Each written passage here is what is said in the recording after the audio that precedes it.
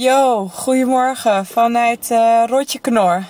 Dude, vanochtend ging alles zo mis. En eerlijk gezegd, het ging niet eens mis. Ik maakte gewoon de verkeerde keuzes. Ik ben te laat van huis weggegaan. Ik had mijn afspraak voor de visum. Voor het visum. En ik heb hem net gehaald. Ik heb zo'n, zo'n freaking mazzel gehad. Maar het waren allemaal mijn eigen keuzes. Gewoon niet over dingen nagedacht. Ik moet echt weer even wat scherper worden op dat uh, te laat komen. Want ik merk gewoon, en dat is zeg maar het vieze met de gewoonte. Dat gewoon als je er eventjes geen aandacht aan geeft of zo, komt die gewoon weer terug.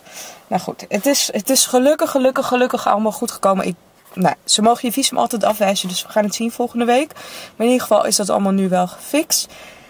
Ik ga weer terug naar Amsterdam. Hey, ik ben in Eiburg voor mijn volgende afspraak. Maar ik heb nog heel even tijd om te lunchen. Ik had geen tijd om naar huis te gaan. Kom, we gaan gewoon even wat halen.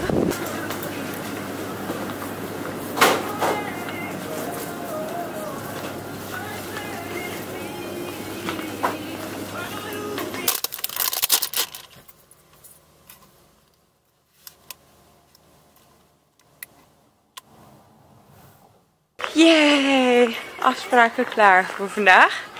Ik ga eens kijken of ik een boete heb. Want ik bedacht me net. Ik ben vergeten een paar keer geld te betalen. Kijken of ik nog meer mazzel heb vandaag. Ik loop vandaag echt zeven in uh, tien sloten tegelijk. Dus uh, ga eens kijken of ik weer mazzel heb. Is het mijn geluksdag? Is het mijn geluksdag? Serieus, ik heb gewoon geen boete. Ik heb geen boete. Ik heb geen boete. Oh, en freaking G. Ja, vandaag is mijn geluksdag. Laatste woorden voor ik naar huis ga. Ik heb gereden op reserve, reserve brandstof. En nu ga ik eventjes tanken. Yeah, wat een mazzeldag. Ah! Yo, sorry, ik moet echt even bij mijn huid stilstaan. Ik heb nu make-up op, hè. Kijk dan.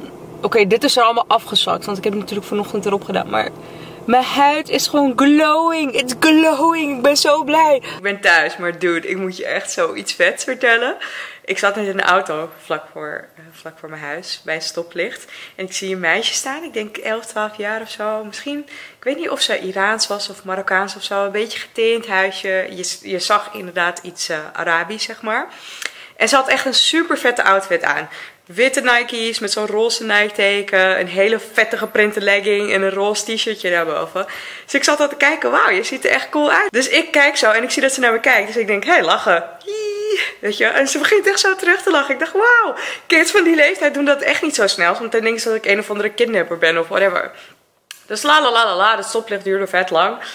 Ik nog een keer kijken, keek ze ook nog een keer, weer lachen. Hihi. Toen ging ze ook weer lachen. Hihi. Ik wil eigenlijk, eigenlijk wou ik zeggen, je hebt echt een vette outfit aan. Want daarvoor keek ik gewoon de eerste keer al. Dus ik rijd zo lang, zeg maar, ik moest zo'n bochtje om. En ik denk, nou, even, ik ga gewoon zwaaien. Dus ik zwaai zo, zij zwaait zo terug. Ik denk, wat, zo schattig. Zo schattig. Dus, um, ja, mocht je dat meisje kennen of, uh, of mocht je dit kijken. Je had echt een vette outfit aan. I liked your outfit. En ik ben nu weer helemaal happy de rest van de dag. Lach gewoon random naar iemand op straat. Het levert altijd de leukste verhalen op en gewoon happiness. Een van de vetste dingen van YouTube vind ik dat er constant nieuwe mensen bij komen. En natuurlijk kijk ik de grote accounts op YouTube. Maar wat ik heel vet vind is nieuwe mensen ontdekken die ook heel erg goed zijn. En iemand die ik laatst heb ontdekt is make-up artist Vadim. Vadim, sorry als ik je naam niet goed uitspreek. Zij de dingen willen of kopen of zal misschien stom vinden dat ik dat koop. Maar ik ben gewoon eh, blij, dat ik uh, zo ver ben gekomen dat ik daadwerkelijk ook um, echt geld ermee verdien. En dat ik meer dan genoeg voor... Ze is zo lief, zo eerlijk. Love it. Ik had haar ontdekt door haar Turkije vlogs. Ik wil nog een keertje echt heel graag roadtrippen door Turkije. I love Turks eten. I love Turkse mensen. En zij is gewoon echt heel leuk. En ze kan echt verdomd mooi make-uppen. Echt waar. Check even haar kanaal. Yes, you should be. You go girl. Mashi, food. Yeah, pannenkoeken. Yeah, boekwijd pannenkoeken. Met banaan Heeft... erin? Ja, met banaan en lemon, zoals jij al voorstelde. ik ga het voor de eerste keer uitproberen. Heb banaan hierin?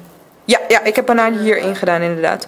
Maar Francis heeft een uh, recept toch voor boekwijd pannenkoeken? Yes, zo. Als je het wil hebben, dan moet je even daar kijken. Kijk hoe schattig. Hij laat heel vaak dit soort briefjes achter, omdat ik één keer helemaal in paniek raakte. Eh, het is half twee, ik ga slapen. Dankjewel voor het kijken. Vergeet je niet te abonneren en ik zie je morgen weer.